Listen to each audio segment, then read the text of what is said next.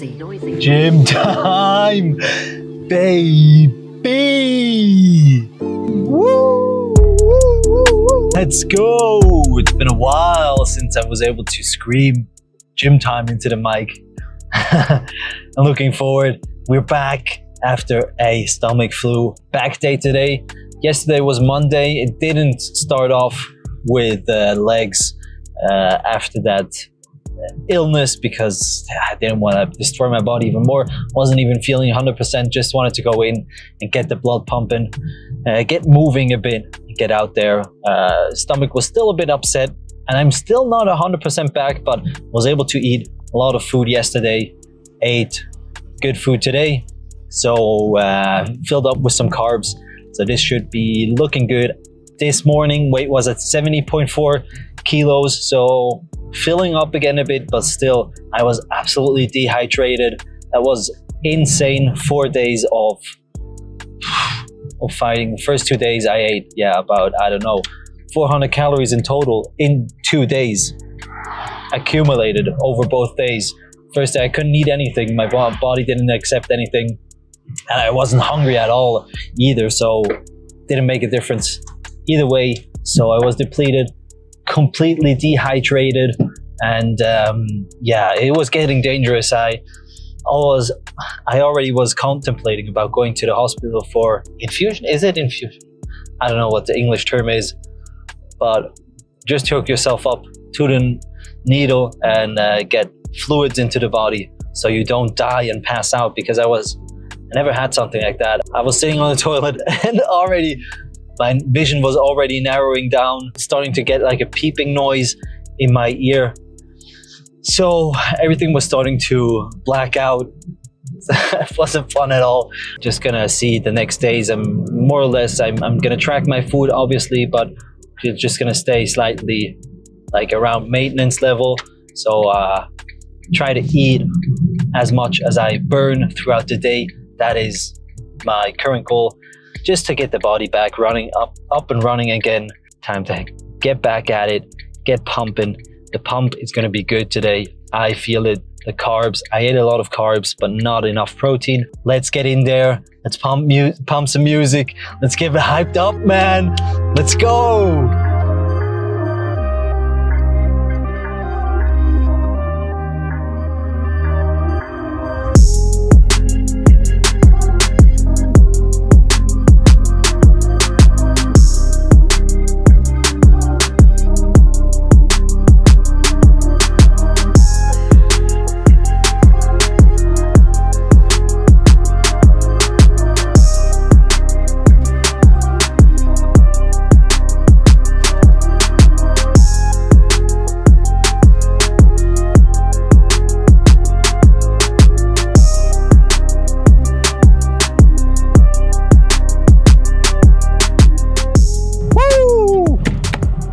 Is it, baby.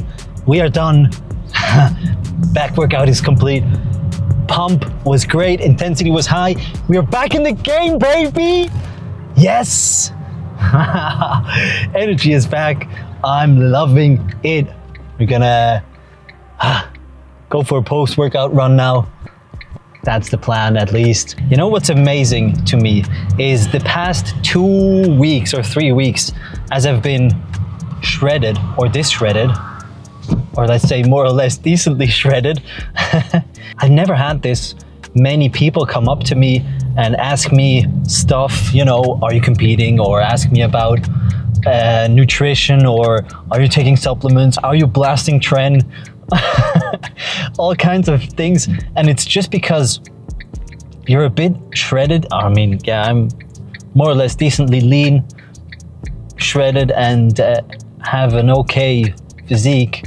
Um, but it's just people, I don't know, find it, you can be, I could be five kilo, kilograms heavier than I'm now, and nobody would come up to me and ask me about anything, or if I, you know, for advice, let's say advice, but just come up to me and start a conversation about anything, about fitness or whatever, and or compliment me or just you know, say, yeah, you're looking great, great shape, or whatever. If you're like this shredded, people see it subconsciously. They know it takes a lot of discipline, takes a lot of perseverance, and just, you know, not everybody can go this far because obviously you have to train for several years. At least if you're not, you know, lasting tren, then you can do it in a year or two. but let's say you're doing it the right way and a sustainable way, then you know, you have to invest 10 years. If you have gifted genetics, well, then you still have to put in three years or whatever and be disciplined about your nutrition, be disciplined about training, get in there day in, day out, every week and put in the work, put in the hours, stay consistent with your diet, get in those proteins and everything, and people just notice it and give it a value. It just takes some effort to get it done and uh, be in, in a shape like this. And it is tough, it's not easy, obviously, but yeah, that's just something that crossed my mind.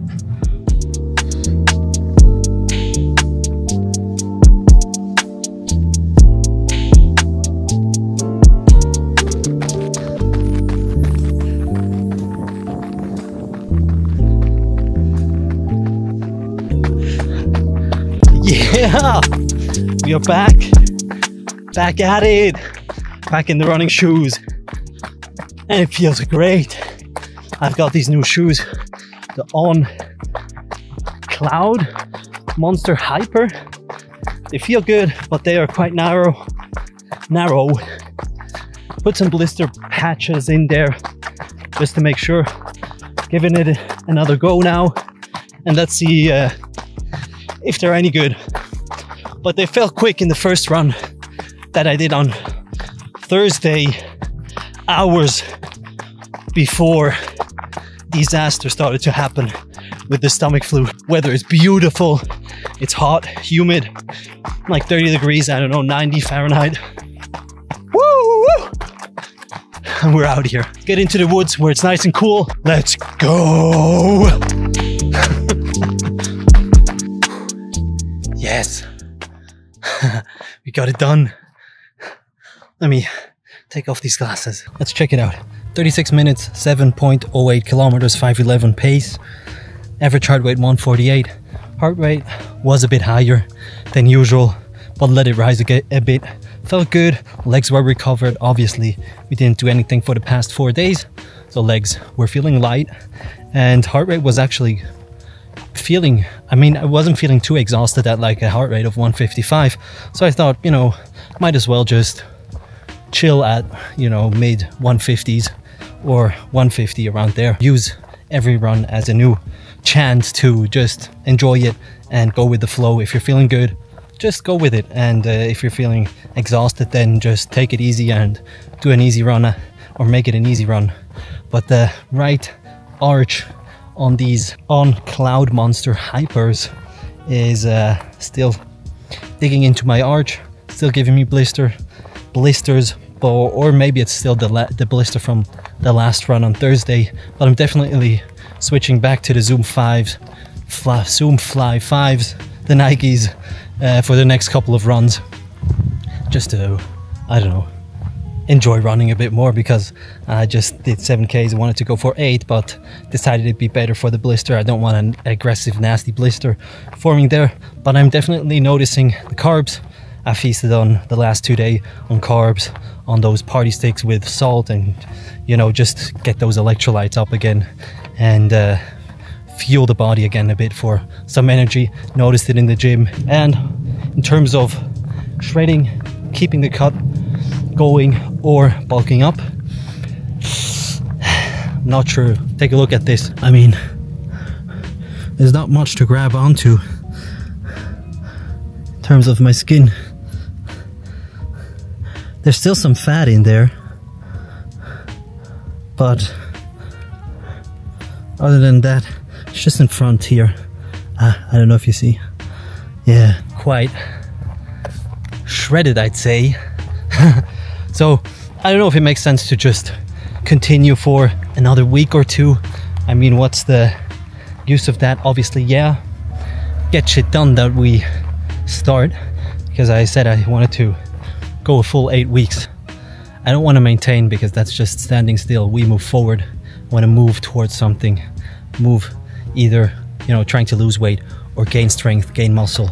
In my opinion, maintaining and just like staying at a constant level, that's definitely moving backwards.